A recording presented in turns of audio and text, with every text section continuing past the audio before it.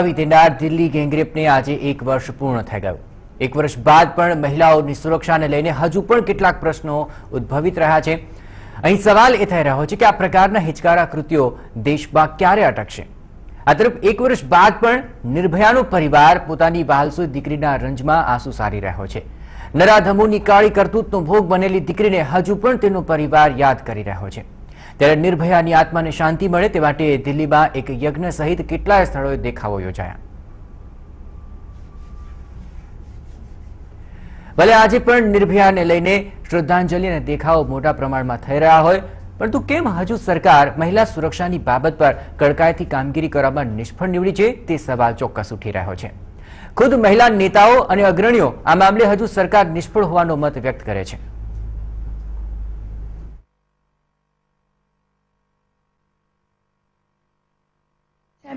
संसद चल रही थी और संसद में हमने सर्वसम्मति से संकल्प पारित किया। उसके बाद जो उस समय कानून था, उस पर पुनर्विचार हुआ, सबसे सलाह ली गई और उसको सख्त बनाने के लिए कदम उठाए गए और वो कानून पारित हुआ। देखिए, आज 16 दिसंबर का दिन हमारे लिए बहुत ही एक कहना चाहिए अशुभ दिन है। जिस दिन एक ऐसे एक लड़की के साथ, बेचारी के साथ में इस तरह का जो दुर्भाग्यपूर्ण काम हुआ है, उसको हम एक काला दिन कह सकते हैं। और जहाँ तक सवाल है सुरक्षा का तो कानून भी बने हैं, उन मुलजिमों को सजा भी हुई है, लेकिन अभी मैं समझती हूँ बहुत कुछ होना बाकी है। देखो कहाँ पहुँचा ये बहुत बड़ा प्रश्न है। हम कहीं नहीं पहुँचे शुरुआत ही नहीं किया है तो कहाँ पहुंचेगी?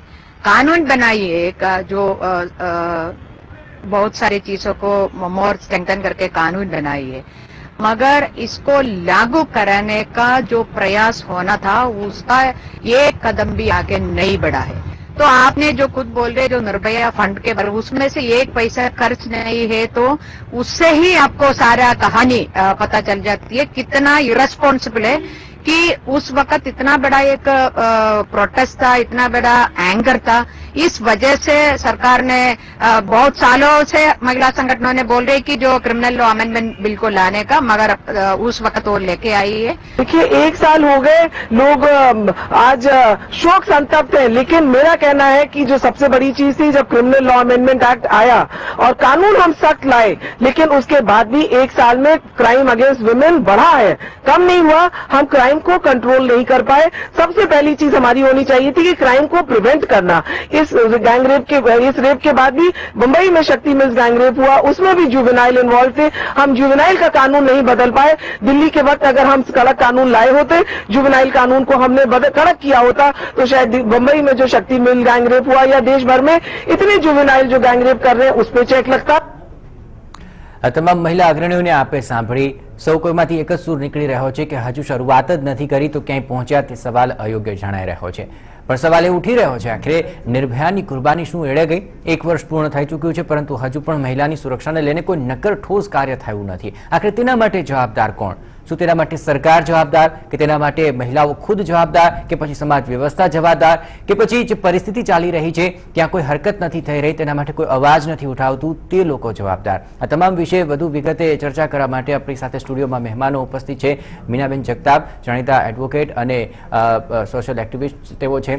આ ઉપરાંત આપણી સાથે રુઝાન ખંભાતા છે સોશિયલ એન્ટરપ્રિન્યોર છે અને તેઓ મહિલાઓને લઈને ઘણી સારી કામગીરી કરી રહ્યા છે. બંનેનું સ્વાગત છે. સૌપ્રથમ રુઝાનજી આપની પાસે આવવા માંગી છે એક વર્ષ નિર્ભયાની કુરબાનીને પૂર્ણ થયું છે અને આ પ્રશ્ન ફરી એકવાર સામે આવી રહ્યો છે. આપણે શું લાગે છે આ એક વર્ષ દરમિયાન જે ઘટના ઘટી ત્યારબાદ જે પ્રયત્નો થવા જોઈતા હતા, શું એ થયા? એટલા બધા નથી થયા. ભલે આપણે લોક જુવાર થયો, મીડિયાએ બહુ સપોર્ટ આપ્યો નવા લોઝ નવા એટલે એમેન્ડેડ સ્ટ્રિક્ટ લોઝ આવ્યા એ મને બહુ ગમ્યું, એ બધું બહુ પોઝિટિવ થયું છે. પણ લેટ અસ બી આપણે જે સોશિયલ રિસ્પોન્સિબિલિટી છે, જે માઇન્ડસેટ્સ માટે આપણે કામ કરવાનું છે, એ હજી બહુ ઘણું વીક પડી રહ્યું છે. બીજું મેં ઇમ્પોર્ટન્ટ ચીજ જે એ વખતે બી કહી હતી ને, હજી બી કહીશ ને એવરી ટાઈમ કહીશ કે જે આપણે જ્યુડિશિયરીએ જે સ્ટેપ્સ લેવા હતા ફાસ્ટ ટ્રેક કોર્ટ્સ કરી દેવી હતી, આ રેપ રિલેટેડ મેટર માટે કન્વિક્શન્સ વધારી લેવા હતા, તાકી ને એક ટોપ ડાઉન એપ્રોચ રહીને લોકો ગભરાય. કારણ કે ફર્સ્ટ પહેલા ટાઈમથી કહ્યું છે કે લોસ તો પહેલા બી હતા, અત્યારે સ્ટ્રિક્ટ લોસ થયા છે. પણ એનું જે ઇમ્પ્લિમેન્ટેશન ને એક્ઝિક્યુશન થવું જોઈએ એ વીક પડે છે. એટલે અગર એ હજી સ્ટ્રોંગર થાત, તો I am sure it would have made some more more difference about it પણ એ ગુડ ચીજ જે સારી ચીજ થઈ છે, જે મને ગમી અને આઈ મીન જે દેખાય છે એવી, કે ભલે આપણે કહીએ કે રેપના કેસીસ વધ્યા છે, પણ એકચ્યુઅલી રેપના કેસીસ આનાથી વધારે હોવા જોઈએ. પણ અત્યારે બહેનોએ બોલવાની હિંમત કરી છે. બહેનો આગળ આવીને બોલી રહ્યા છે. એટલે I would rather take it as a positive કે એટલીસ્ટ બોલી તો રહ્યા છે, તાકી સોસાયટીમાં ચેન્જ આવે. બિલકુલ. એ ચેન્જ ચોક્કસપણે જોવા મળી રહ્યો છે. મીનાજી, આપની પાસે આવીશ. જ્યાં સુધી વાત છે કાનૂનની દ્રષ્ટિ હંમેશા આવા ગુનાઓ પર રહેતી હોય છે અને સમાજની પણ હંમેશા એક અપેક્ષા રહેતી હોય છે કે કાનૂન કંઈક કરે. આ એક વર્ષ દરમિયાન કાનૂનમાં કોઈ ફેરફાર આપ જોઈ રહ્યા છો અથવા કાનૂન જે છે, તેનો ઉપયોગ કરતી મહિલાઓ થઈ છે ખરી? સી, જેમ રુઝાને વાત કરી, એમ ટુ થાઉઝન્ડ થર્ટીનમાં થર્ડ ફેબ્રુઆરી ટુ થાઉઝન્ડ થર્ટીનથી એમેન્ડમેન્ટ એક્ટ આવ્યો. અને એ એમેન્ડમેન્ટ એક્ટ પ્રમાણે ઘણા બધા સુધારા થયા. ઘણા જે કાયદા હતા, એમાં અમુક જે લુફોલ્સ દેખાતા હતા, એમાં એમેન્ડમેન્ટથી જે છે એ ગેપ જે છે પૂરવાની કોશિશ કરી. આ બધું જે છે એ એક વર્ષ દરમિયાન જે આ બધા પ્રકારની મુવમેન્ટ આખા દેશમાં આવી અને એ મુવમેન્ટના કારણે અને ત્યારબાદ જેટલા જેટલા કેસીસ જેમ રૂઝાને પણ અત્યારે ટાંક્યું એ પ્રમાણે કે આ કેસો જે છે એની રિપોર્ટેડ સંખ્યા વધી. સી કોઈ ગુના જે છે એ કઈ બહુ વધારે થઈ રહ્યા છે એવું નથી, પણ એના રિપોર્ટ કરવાની જે સંખ્યા વધી, એના કારણે આ બધી જે એક પોઝિટિવ બાબત થઈ, એ પોઝિટિવ બાબતમાં કાયદામાં એમેન્ડમેન્ટ તો આવ્યું છે, પણ હજુ પણ કન્વિક્શન જે છે કન્વિક્શન ઓછું છે. એટલે કે સજા જે છે, સજાનું પ્રમાણ ઓછું છે. આવા જે ગુનેગારો હોય છે, એ ગુનેગારો જે આવા પ્રકારના દુષ્કર્મ કર્યા બાદ પણ આ છોકરીઓ સાથે, એના પરિવાર સાથે, એની જે ફાઇનાન્શિયલ પોઝિશન હોય છે, કે એનું જે સોશિયલ સ્ટેટસ હોય છે, એને લઈ અને સમાધાનના પ્રયત્નો ખૂબ દબાણ કરવામાં આવે છે અને એમાં તંત્ર જે છે, તંત્ર નિષ્ફળ જાય છે. આવી વખતે એને સતત જે માર્ગદર્શન મળવું જોઈએ આવા પ્રકારના ફેમિલીને તમે એને કેસ લડવા માટેના ફ્રી લીગલ એડ આપો છો.